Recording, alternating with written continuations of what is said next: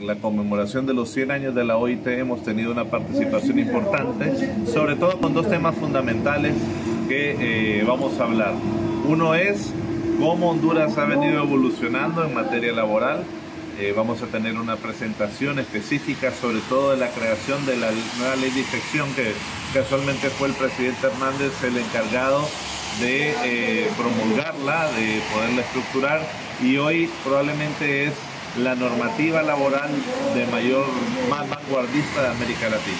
Y por eso hay una presentación especial de Honduras aquí en la OIT que casualmente va dirigida a eso. Y otro de los temas fundamentales de la participación que tenemos es cómo en el mundo del trabajo cae eh, o se mezcla todo lo que son la producción de café, cacao y claro lo que va a representar para el futuro. El hecho de que Honduras vaya avanzando en la creación de cafés que tienen, por así decirlo, otro, otro nivel de calidad. Eh, ya tenemos, por ejemplo, la tasa de excelencia en el país. Honduras es de los principales exportadores de café.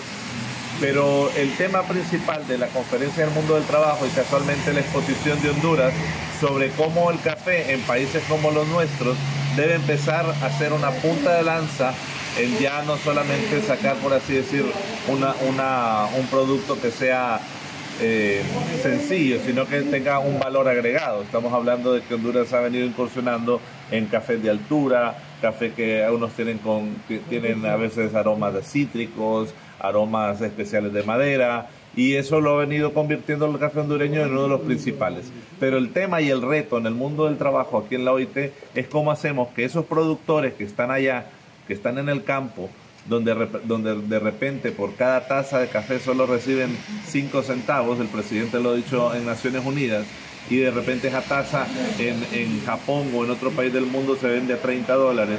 ¿Cómo hacemos para que esa transferencia en el mundo del trabajo efectivamente lleve a los productos? son los dos temas más importantes y recordemos que el presidente Hernández estuvo casualmente hace poco en la Nestlé, ¿verdad? Que, es uno de los grandes compradores y uno de los temas era es cómo hacíamos para que existiesen programas de empleo para jóvenes y es parte de lo que hoy se está discutiendo en esta asamblea en los 100 años de la OIT. Efectivamente vamos a plantear de que, de que la OIT pueda acompañar cómo nosotros como país empezamos a diversificar esta salida. Estamos hablando ya no solamente de, un café normal, no solamente de un café gourmet, sino que también otros derivados de café.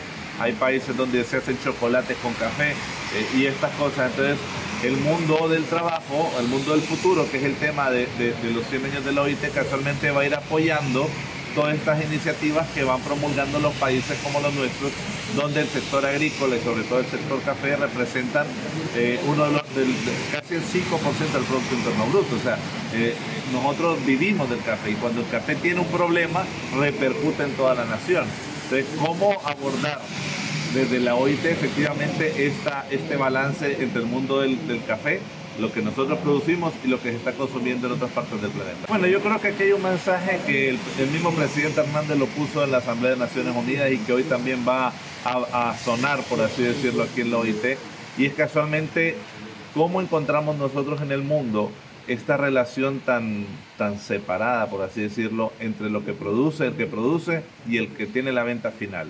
O sea, esa desigualdad se ve inclusive hasta en los países grandes y los países pequeños y, nosotros la miramos en un ejemplo probablemente tangible que es el costo del café.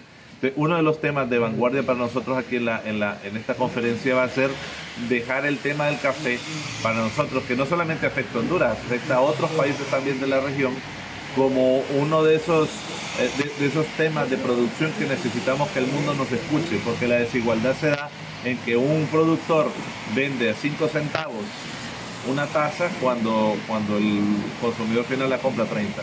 Bueno, esta ley de inspección trajo una novedad, sobre todo en el mundo del trabajo, para los países de América Latina. Y uno es que es una ley muy fuerte con sanciones muy grandes.